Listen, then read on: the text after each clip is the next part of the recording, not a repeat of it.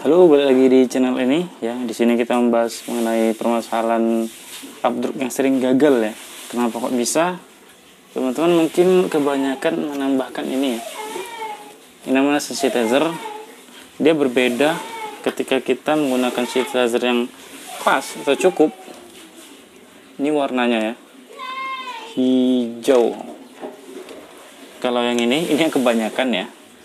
Tengok kan beda uh, ya kita lihat kan.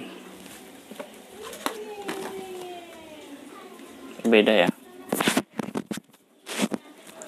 Uh, berbeda. Nah warnanya juga udah berbeda. Yang bagus tuh yang ini. Ya kalau kita pakai yang ini dia nanti pas selesai penyinaran kemudian nanti selesai penyinaran dia warna screennya jadi warna orange ya. Orange kalau pakai ini. Nanti susah pas pas penyemprotan nanti rontok afdropnya sementara yang ini nah ini bagus hasilnya nanti karena udah kita coba ya. Karena tadi sempat gagal juga gitu kan. Sempat gagal e, dicek-cek. Kalau untuk penyinarannya lama waktunya udah pas ya udah sesuai. Cuman dicek lagi coba-coba e, dikurangkan dikurangi lagi ininya ya. Sisi tasernya barulah hasilnya sempurna bagus hasilnya. Ini dia contoh warnanya. Warna bremol dicampur dengan sisi taser yang pas. Nggak terlalu banyak nggak terlalu sedikit juga kan warnanya berbeda ya. Nah. oke. Okay. ini kebanyakan sensitizer jadi warnanya kayak gini. Ya. Oke okay, mungkin itu ya eh, sharing-sharing kali ini mengenai kenapa kok afdruk itu gagal. Hasilnya itu pas penyemprotan itu gagal ya. Hasilnya malah disemprot malah rontok afdruknya itu biasanya kendala-kendala utama bagi para penyablon pemula. Bukan hanya pemula ya. Kita yang udah sering nyablon itu.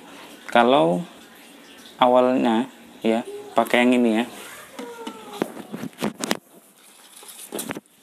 Nah, pakai yang ini.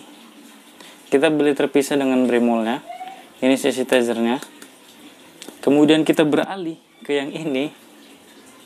Nah kadang bisa gagal walaupun kita pernah nyablon.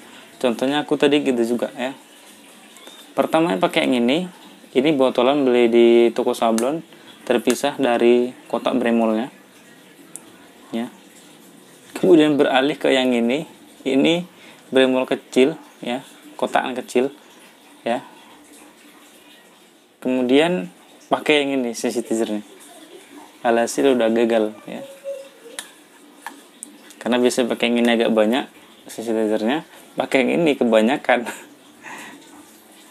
Hasilnya bremolnya warnanya kuning. Ya. Nah kayak gini nih. Tua dia nggak bagus.